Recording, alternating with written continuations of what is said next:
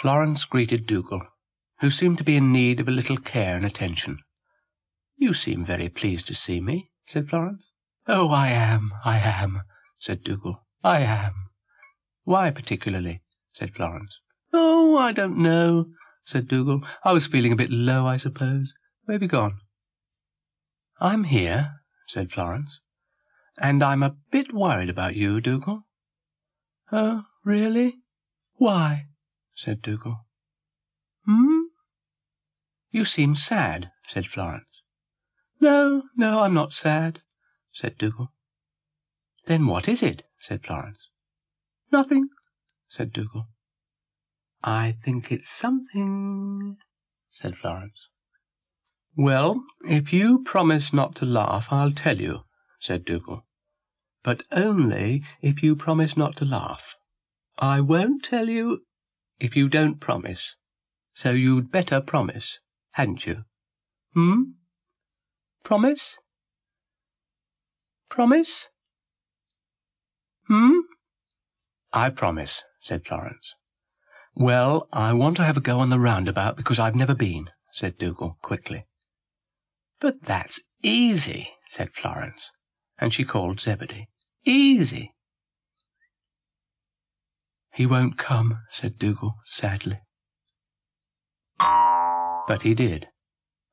Small request, said Florence briskly. Request away, said Zebedee.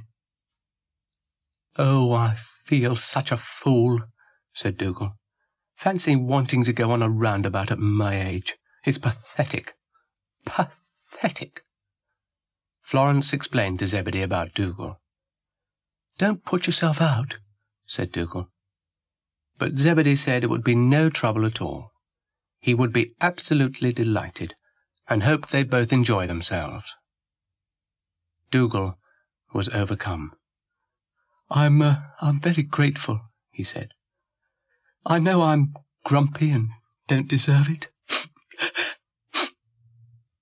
Go on like that and you won't get it, said Zebedee. Oh, come on, said Florence. Let's go. Dougal arrived sedately, to find Florence waiting. I'm arriving, he said. Well, this is it, said Florence. It's lovely, said Dougal, climbing on. Doesn't go very fast, does it? Doesn't go at all until you started, said Mr. Rusty. Dougal apologized for his ignorance.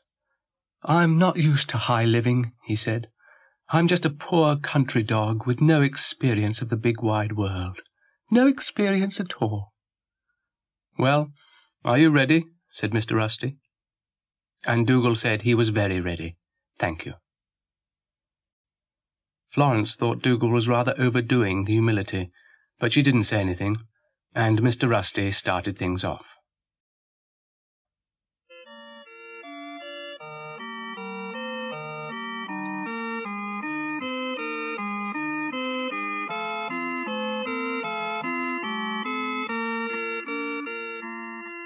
Enjoying it? They asked. Dougal wasn't too sure. Lovely sensation, isn't it? said Mr. Rusty. But again, Dougal wasn't too sure. I'm not too sure, he said.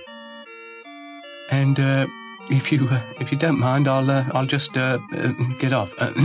I'll uh, try. Yeah, I think I'll uh, just get off if you don't mind. get off, off, off. Mm. All right, Dougal. Oh yes, yes, lovely," said Dougal. "Lovely. It's it's absolutely lovely. I just feel sick. That's all."